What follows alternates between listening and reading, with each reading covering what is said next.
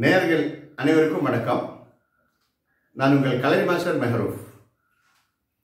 இன்னைக்கு பைல்ஸ் அது மூலவியாதி. ஏன் வருகிறது?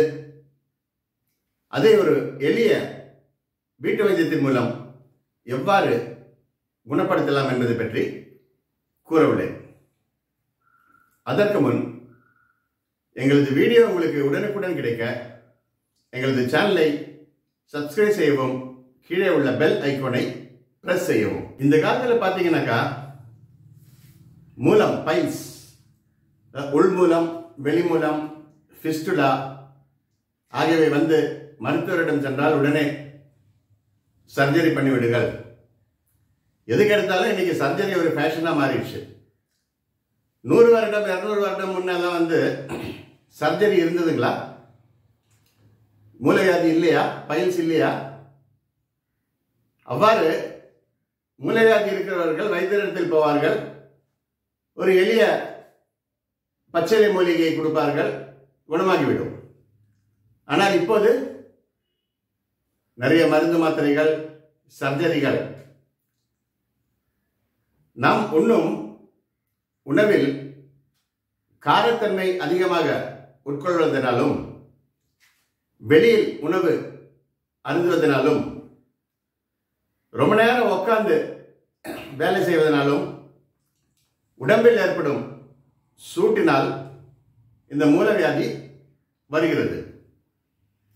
அது மட்டும் அல்லாமல் அஜீரண கோளாறு ஏற்பட்டு உண்ணும் உணவு ஜீரணமாகாமல் மலம் வெளியேறுவதற்கு கஷ்டமாக அதாவது கான்ஸ்டிபேஷன் மலம் இறுகி வெளியே வரும்போது அந்த மலவாயிலில் வெடிப்பு ஏற்பட்டு அது ரணமாக மாறுகிறது. அதுக்கப்புறம் பார்த்தீங்கன்னாக்கா திருப்பியும் அங்கே இன்ஃபெக்ஷன் ஏற்பட்டு மலம் வெளியே வரும்போது ரத்தம் அடிகிறது.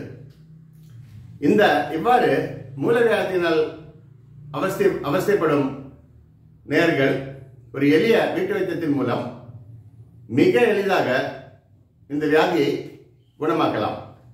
இதற்கு தேவையான பொருள் ஒரு டம்ளர் காய்ச்சின பசுவின் பால் அடுத்ததாக துளசி விதை பொடி அதுக்கு அடுத்ததாக குப்பைமேனி பொடி அதுக்கு அடுத்ததாக ஜீரக பொடி. ஒரு டம்ளர் பாலை எடுத்துக்கொண்டு அதில் ஒரு ஸ்பூன் துளசி பொடியை போட வேண்டும்.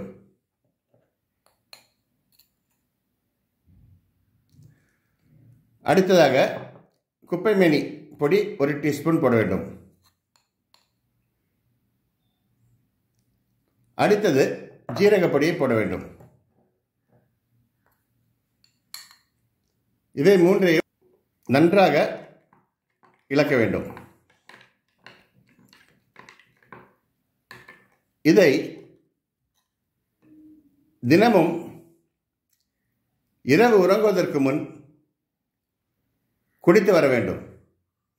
இவ்வாறு தொடர்ந்து செய்து வந்தால் உங்களுக்கு ஏற்படும் பைல்ஸ் உள்மூலம் வெளிமூலம் ஃபிஸ்டுலா ரத்தம் வடிதல் ஆகியவை குணமாவதை பார்க்கலாம். என்ன நேர்களே இந்த வீடியோ உங்களுக்கு பிடித்திருந்தால் லைக் செய்யவும் ஷேர் செய்யவும் கீழே உள்ள கமெண்ட் பாக்ஸில் கமெண்ட் செய்வோம்.